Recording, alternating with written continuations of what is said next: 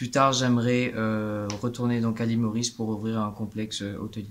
L'école de Savignac est une école qui appartient à la Chambre de commerce et d'industrie de la Dordogne et elle forme principalement des managers au niveau bachelor et au niveau master pour les métiers de l'hôtellerie, de la restauration, mais tous les métiers connexes également comme euh, les loisirs, les parcs de loisirs, les croisières, les casinos et plein d'autres métiers qui vont passionner les étudiants par leur dimension humaine et internationale.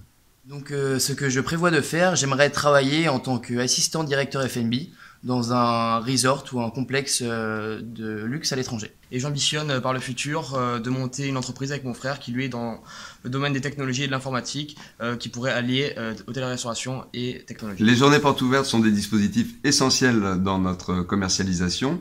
Il est important pour toute famille et tout étudiant de pouvoir découvrir l'école, ses intervenants, avant de faire un choix qui sera décisif pour la carrière des étudiants. Donc aujourd'hui, nous sommes sur la deuxième journée porte ouverte et nous en avons une dernière le 23 mars et vous êtes évidemment bienvenue. Ce que je prévois de faire plus tard, donc c'est soit d'être directeur général euh, d'un hôtel, ou alors pourquoi pas de créer une entreprise euh, avec d'autres étudiants euh, sur des projets qu'on a déjà. J'aimerais pour le futur atteindre un poste de directeur FNB dans un hôtel et complexe hôtelier de luxe.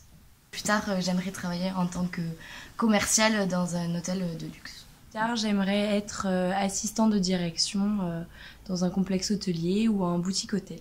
L'école de Savignac est une école qui appartient à la Chambre de commerce et d'industrie de la Dordogne et elle forme principalement des managers au niveau bachelor et au niveau master pour les métiers de l'hôtellerie, de la restauration, mais tous les métiers connexes également comme euh, les loisirs, les parcs de loisirs, les croisières, les casinos et plein d'autres métiers qui vont passionner les étudiants par leur dimension humaine et internationale.